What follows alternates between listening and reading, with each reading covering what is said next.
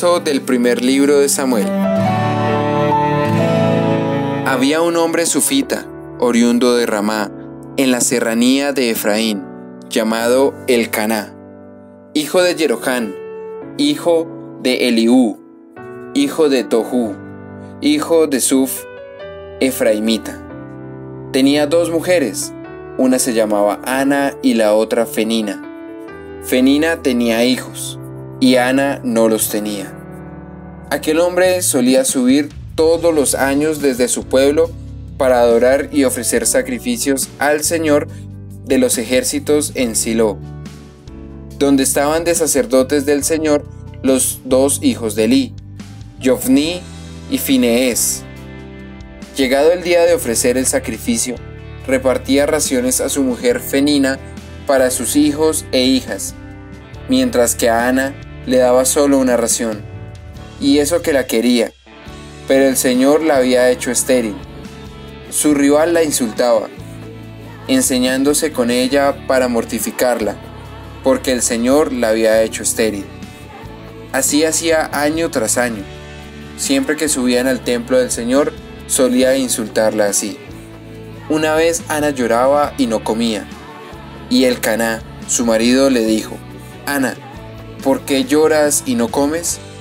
¿Por qué te afliges? ¿No te valgo yo más que diez hijos? Palabra de Dios.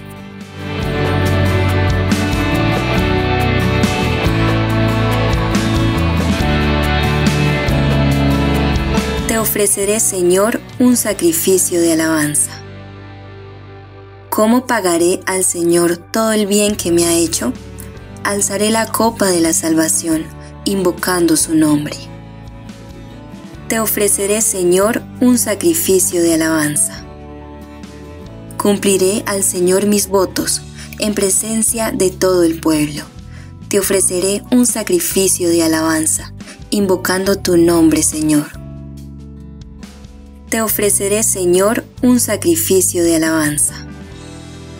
Cumpliré al Señor mis votos, en presencia de todo el pueblo, en el atrio de la casa del Señor, en medio de ti, Jerusalén.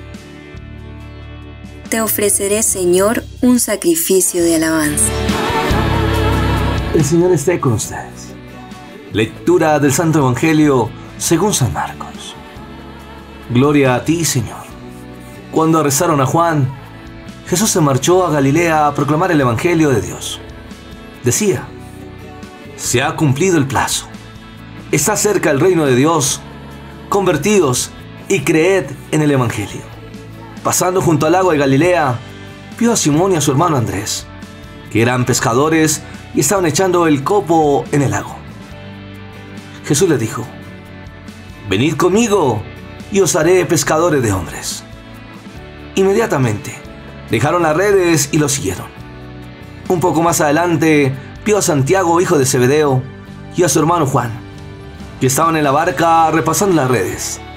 Los llamó, dejaron a su padre Zebedeo en la barca con los jornaleros y se marcharon con él.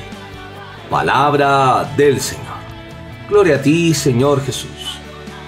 Vamos a pedir la luz del Espíritu Santo, el Espíritu de Dios que nos guía para que podamos entender este hermoso regalo, esta palabra de bendición. Espíritu de Dios, ven sobre nosotros, sobre nuestra vida, sobre nuestra historia. Haznos comprender esos hermosos regalos, estas bendiciones, para que así también podamos llevar con alegría esta obra de evangelización, acompañados también del amor maternal de la Santísima Virgen María. Arrestaron a Juan el Bautista por la injusticia del rey Herodes.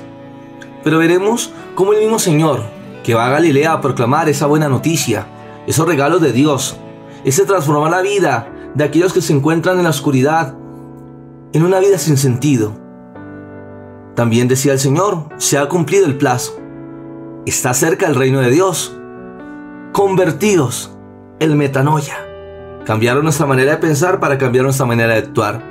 Pero también creed. Creed es sinónimo de fe.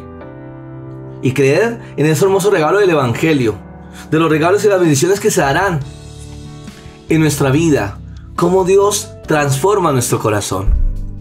Es por eso que él pasando junto al lago de Galilea, vio a Simón y a su hermano Andrés, que eran pescadores, y estaban echando el copo en el lago. El mismo Señor los invitará, venid conmigo y os haré pescador de hombres. Asimismo también pasará con los hijos de Zebedeo, Santiago y Juan.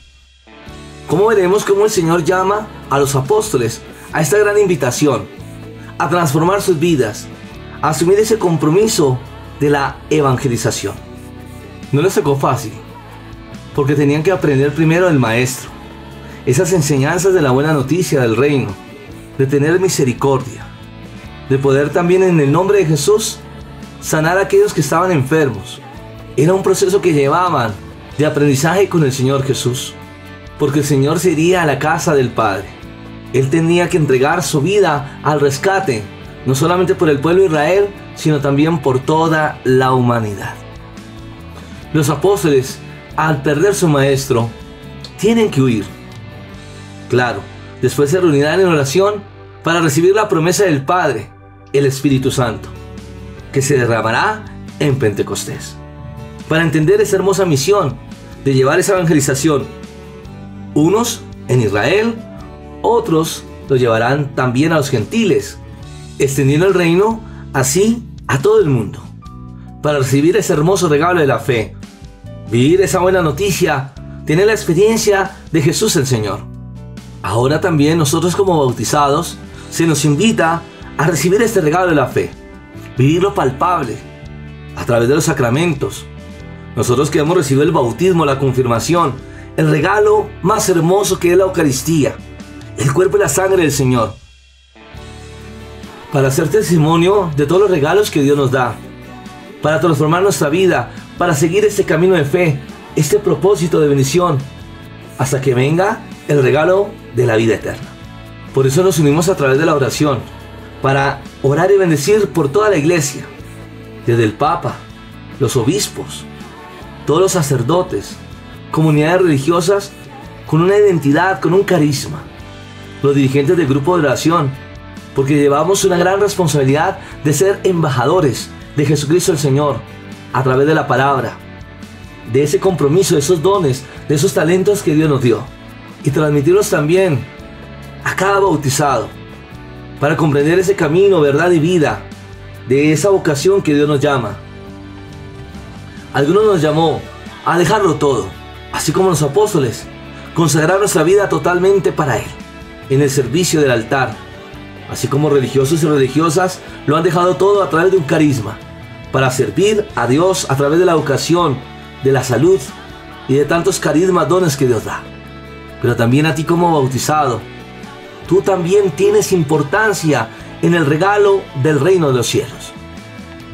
Porque Dios nos invita a una vocación, hace un llamado, algunos totalmente para la vida consagrada, pero también para ti, entender que Dios te llama por tu nombre, porque también algunos llamará a ese regalo del amor, al santo matrimonio, a entender ese regalo a través de la familia.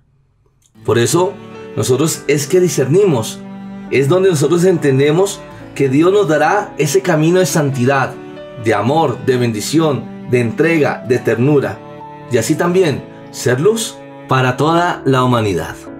Ahora nos unimos a través de la oración, para entender esos regalos, para entrar en ese discernimiento, para entender que Dios nos llama y realizar su hermosa y santa voluntad. En el nombre del Padre, y del Hijo, y del Espíritu Santo. Amén.